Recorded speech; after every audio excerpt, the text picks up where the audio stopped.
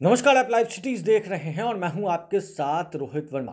बिहार में नगर निकाय चुनाव की घोषणा होने के बाद ही अब कवायदे तेज होती हुई नज़र आ रही हैं। तमाम तरफ़ जो है तैयारियाँ वो देखी जा सकती है और देखिए, इसी बीच एक खबर ये भी है कि नगर निकाय चुनाव के पहले चरण में करीबन बयालीस हज़ार कर्मियों को अब प्रशिक्षित किया जा रहा है। जी हाँ बयालीस हज़ार कर्मी जो हैं वो पोलिंग बूथ से लेकर हर जगहों पर तैनात रहेंगे, लोगों को वोट दिलवाएँगे। देखिए, बिहार में नगर निकाय चुनाव को लेकर तैयारियाँ तेज है और राज्य निर्वाचन आयोग ने इसको लेकर अपनी कार्य योजना पर काम तेज कर दिया है और इसकी शुरुआत मतदान कर्मियों के प्रशिक्षण से होगी। दो चरणों में होने वाले नगर निकाय चुनाव को लेकर राज्य निर्वाचन आयोग ने मतदान कर्मियों का प्रशिक्षण शुरू कर दिया है और राज्य निर्वाचन आयोग द्वारा पहले चरण की अगर हम बात करें तो उसके लिए इकतालीस मतदान कर्मियों को प्रशिक्षण दिया जा रहा है, यानी जो भी कर्मी पोलिंग बूथ पर तैनात होंगे, उन्हें अब ट्रेनिंग देने की प्रक्रिया जो है वो शुरू कर दी गई है।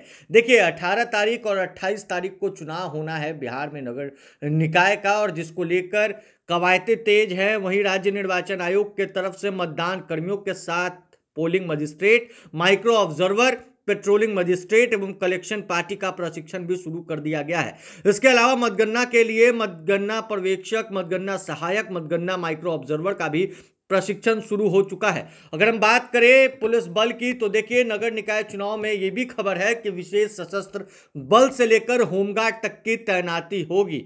नगर निकाय चुनाव को लेकर पुलिस मुख्यालय ने भी तैयारियाँ शुरू कर दिया है और इसके लिए बीते चुनाव की तरह फोर्स से लेकर बूथों तक की संख्या आदि बेवड़ा ज़िले से मंगाया गया है।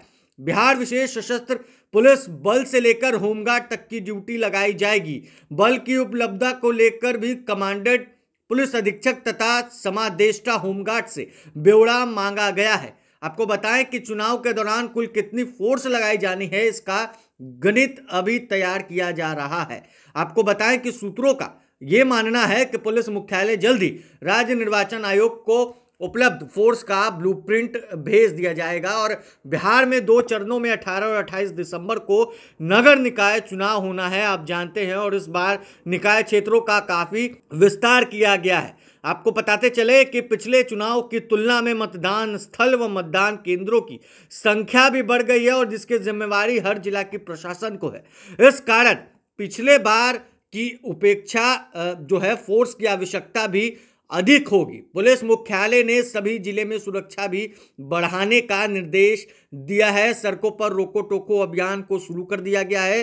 चुनाव में गड़बड़ी फैलाने वाले की आशंका वालों पर लोगों की नज़र रखी जा रही है। देखिए, हर तरफ़ तैयारियाँ जो है वो प्रत्याशियों की तरफ़ से तो की जा रही है, मगर राज्य निर्वाचन आयोग करीबन इकतालीस हज़ार से ज़्यादा जो मतदान केंद्रों पर तैनात होंगे कर्मी, उनको भी ट्रेनिंग अब दी जा रही है। साथ ही साथ होमगार्ड और विशेष सशस्त्र पुलिस बल की भी तैनाती नगर निगम चुनाव में जो है, वो देखी जा सकेगी। अब देखना है, जो जिम्मेवारी हर ज़िले के प्रशासन को मिलेगी, वो बखूबी से निभाने की जो तैयारियाँ हैं, वो भी उन लोगों के द्वारा की जाएगी। अब देखना है कि कब तक इन तैयारियों को पूरा कर लिया जाता है 18 और 28 तारीख को चुनाव होना है।